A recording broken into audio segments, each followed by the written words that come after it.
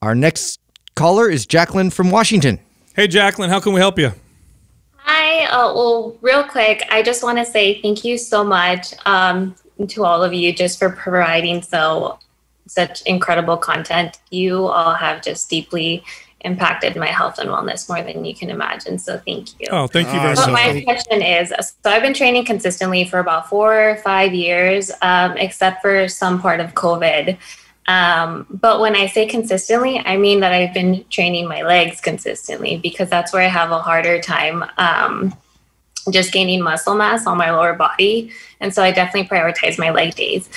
Uh, I train my upper body maybe once or twice a month and actually feel really happy. That's the weird part. Like, I feel really happy with the amount of muscle mass that I have on my upper body, but less happy with my strength. Um, so I know I need to be more consistent with my upper body training, but because I know how easily I gain mass on my upper body, I feel, uh, for lack of a better word, intimidated because I don't want to get too bulky. And I, I, I hate the word bulky. But um, so have you ever helped anybody kind of get past that mental hurdle? And if you have, what helped? Yeah, This no, is actually super common. It is. That's a great question. So, typically with women, you'll see, you know, I don't want to work out my shoulders. I don't want to work out my back or my chest. With guys, you'll see, I don't want to work out my legs because I don't care. I'm gonna, uh, I'm gonna ask you a question, Jacqueline. Uh, so, I, I'd like you to be totally honest. What is the number one motivation for you working out? Is it uh, just the way you look? Because I, I hear you talking about bulk and the way you look and the muscle. Is that the primary motivation for you? I think my overall uh, motivation is that I just want to be confident. I want to be confident overall. Um, yes, with how I look, but overall the strength. I I think that a lot of confidence does come with how much I can lift.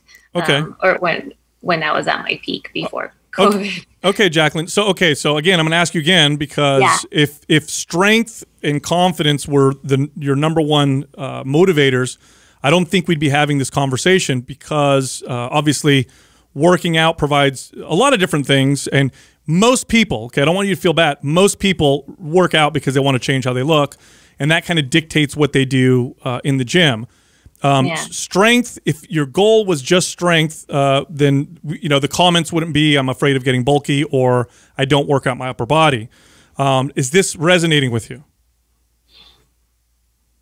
yeah, somewhat. Okay. So, so a couple things that can help you. All right. Um, i- i- number one, i- the road of focusing on how you look.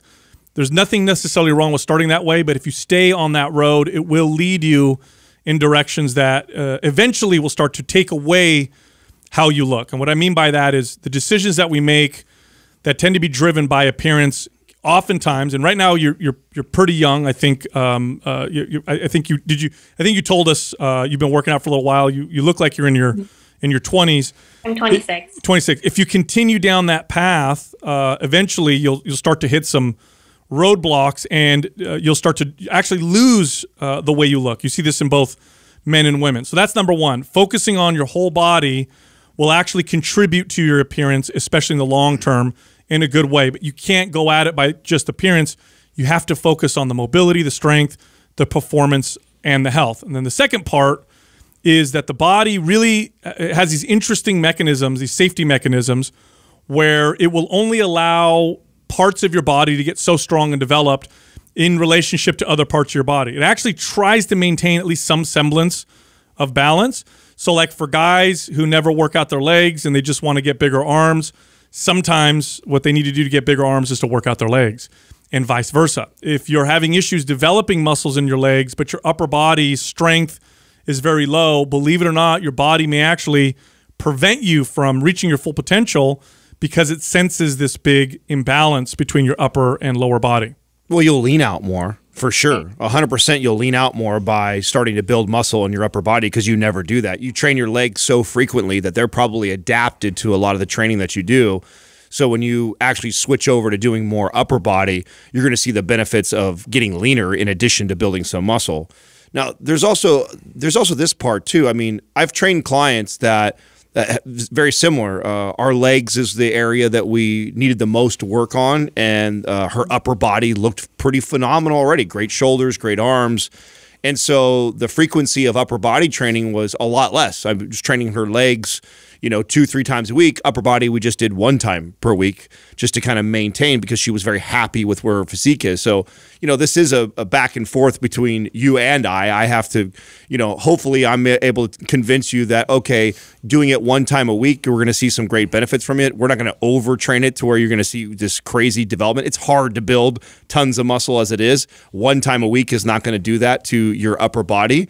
Uh, a lot of times you you you see yourself different than other people. So that's the other thing I would challenge too is, you know, are you the one who thinks that you are looking bulky when you lifted your body or other people saying that to you and have you ever asked somebody else who you trust their opinion and they go actually you look really good um, that would be the other thing that I would challenge. But there's nothing wrong with having a body part that you feel is dominant already on your body, in your case, upper body, and doing less frequency than the rest. I mean, there's you if it's it's your body, if you like the way you look and feel. But then if you say to Sal that okay, I want to be stronger in its confidence uh, and it's not really so much about my aesthetics and how I look, well, then I would challenge you back again and say, then okay, then why aren't we training this once a week? Yeah, and and uh, you know uh, that's a great point, Adam. I mean, you, you don't need to train it as much as your lower body, but you should do something for mm. it just to maintain strength, mobility, yeah. and and function.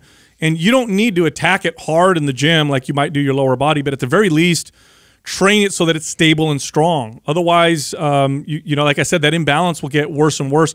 Even if you don't look imbalanced, a huge strength imbalance can cause some serious problems. Well, part also if like so the client that I'm, I'm thinking about a very specific client who I trained for a long time, and she didn't like the way that her legs looked. Like they, uh, you know, she wanted to change the way the legs looked so much, and we she wasn't doing much upper body. And what I explained to her too is that listen, you got to understand that if your body is so adapted to all this lower, lower body training and you haven't done any upper body training, as soon as we start putting some focus there, you're going to build a little bit of muscle. That's going to speed your metabolism up. That'll help you lean out the legs, and the legs will look even better. And I bet want. it did. Yeah, absolutely. So there's that to consider too. Okay. All right. Does that it, do you, is that help you a little bit? It does. It does. I it does because I I guess it kind of gives me that motivation with all of your guys' background and experience with working with different kinds of people and just like I know I need to do it right, but it's just that mental like hurdle of like getting past it. Well, are you are you driven more towards you know working your lower body because you don't like the way your lower body looks so much, or are you avoiding the the upper body because you feel like you're? I mean, what is it that's really keeping you in that direction? Mm. I feel like we're kind of going back and forth on what is it that's driving you. I don't feel like the truth has fully came out yet and and maybe it's a it's something that i'm also kind of thinking about too. Uh, i think that with my legs like it just makes me feel confident that i can be strong. But of course there's that part of me that absolutely wants to develop them even more.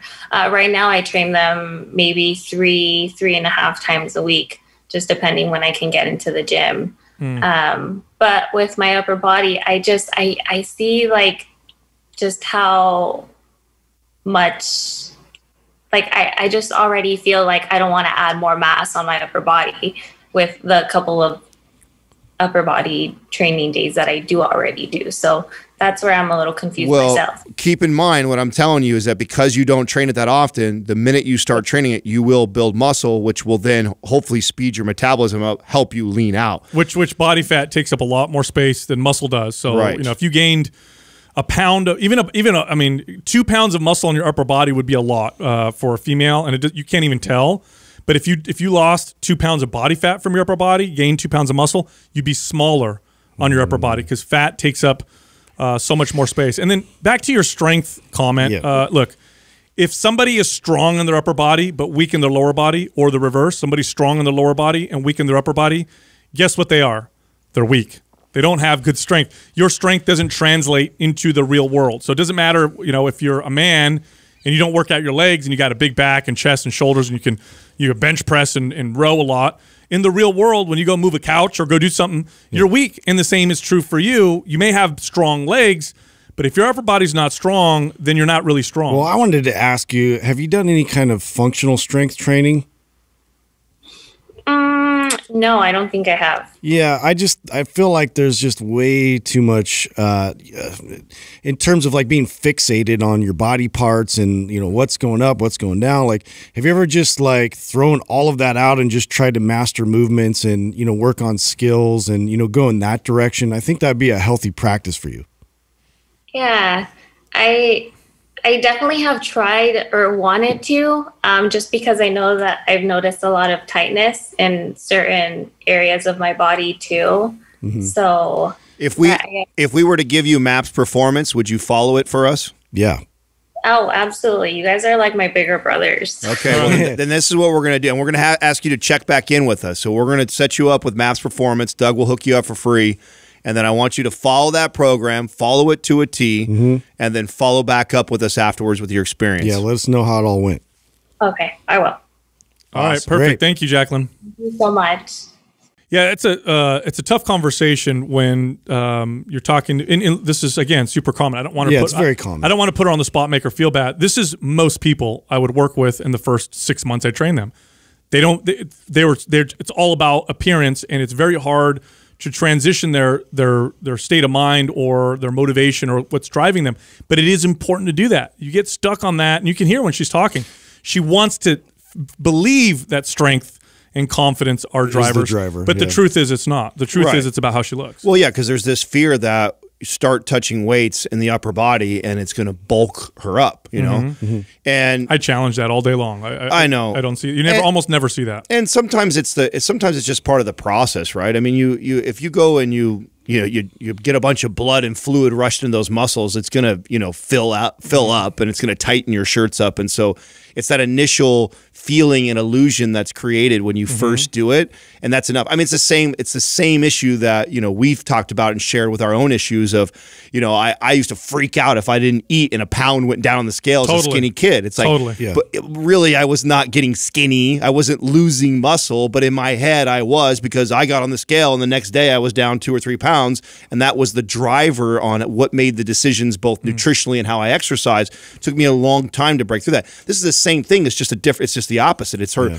upper body and she doesn't want to get big from lifting her upper body she just may need like this psychological shift you know something to kind of release her of that well mentality. I, I loved your suggestion yeah. of, of i mean that would be perfect yep. and performance is great because performance has got a lot of great lower body stuff that's going to challenge yeah, her totally different right know? but I, at the same time too it'll also challenge her upper body she touched on mobility so i thought that was a great recommendation right and i'll say this eh, for the vast majority of people i mean 90 something percent of people if you trained in a way that was good for your body, you trained the whole body, you were relatively lean and healthy, you would look in proportion. It's very rare for somebody to do that for a while and to still look out of proportion. It's not common. A healthy body to somebody else, when you look at them, you'd say, wow, that person looks very balanced. Sometimes to ourselves, though, uh, you know, and I'm, I'm happy you said that, Adam, uh, to her when you said, you know, do you really think you see yourself objectively?